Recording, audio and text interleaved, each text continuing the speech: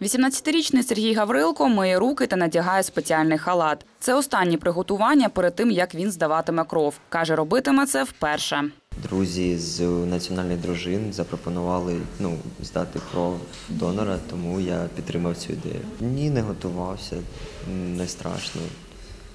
Прийшов як звичайна процедура в поліклініці. Для 22-річної Анастасії Возної така процедура не в новинку. Дівчина тричі здавала кров у рідному Кривому Розі. Переїхавши до Чернігова, робити цього не перестала. Каже, про те, що на станції не вистачає крові, побачила у соцмережі. Мені в 13 років робили операцію, і мені не вистачило крові. І мої батьки здавали для мене, просили своїх друзів. Ось, а потім якось так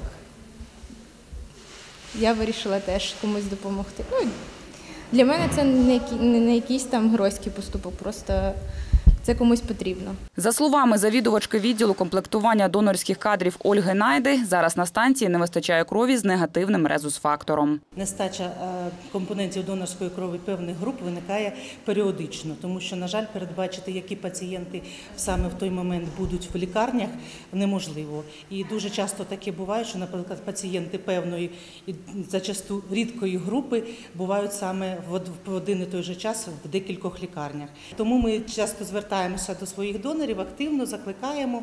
Дуже помагають, допомагають нам в даному випадку е, інтернет-мережі, які е, допомагають закликати таких донорів. Ольга Найда говорить, останніми днями донорів побільшало, та поповнити запаси крові все одно потрібно. тому що 80% від потреби це все ж таки не 100.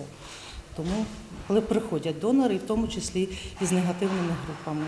Частина донорської крові відбраковується, каже Ольга Найда, переважно через інфекційні захворювання, найбільше через гепатит С. Олександра Денисенко, Олександр Поліщук. Новини на ЮА Чернігів.